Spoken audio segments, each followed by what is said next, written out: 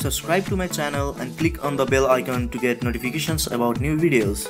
Hello guys, welcome back to my channel. In this video, we are going to unbox UniFi AP AC Pro and access point from Ubiquiti. So let's get started.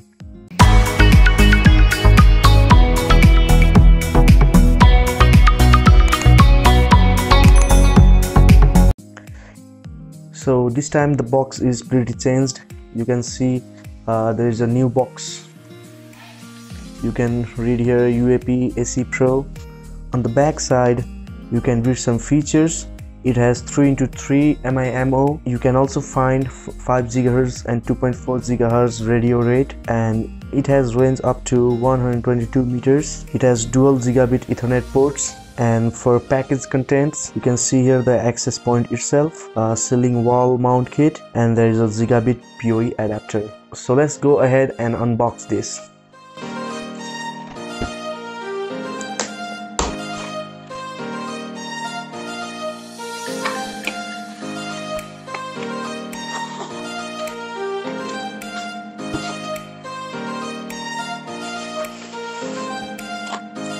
Okay here is the access point itself. We will take a look at it in a moment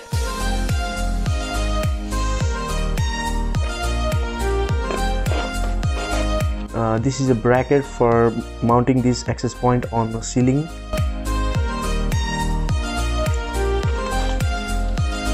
There is some screws to fit this device on the ceiling.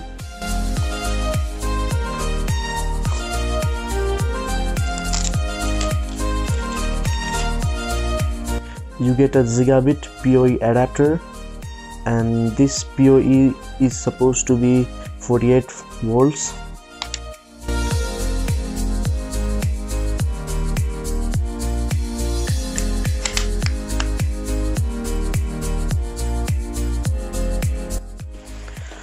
and then in the last we do get a power cord to power up your device.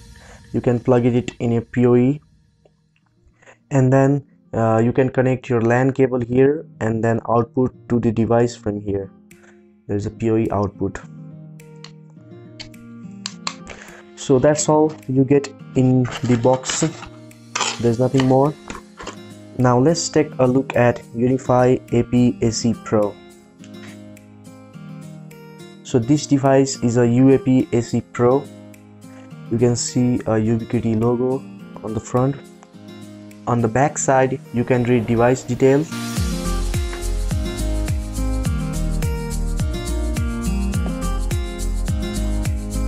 Uh, there is a cover on the back side which you need to remove it. This is a plastic cover to protect it from water.